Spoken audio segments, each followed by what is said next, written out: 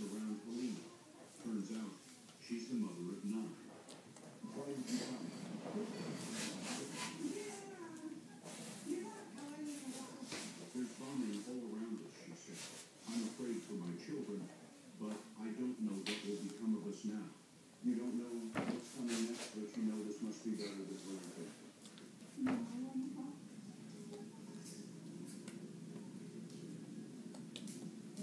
She had taken five of her children. Her husband took four by another route, and they hoped to find one another.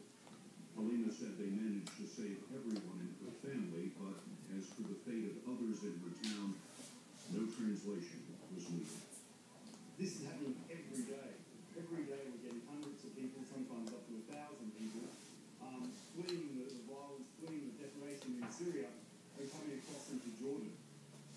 Andrew Harper is in charge in Jordan for the United Nations High Commissioner for Refugees. What kind of they in when they come at the end of this journey? It's, it's horrific. We're seeing um, like children coming across now without any shoes. Um, often they've only got one pair of clothes. Some of them are just wearing their pajamas because when their when their places were bombed,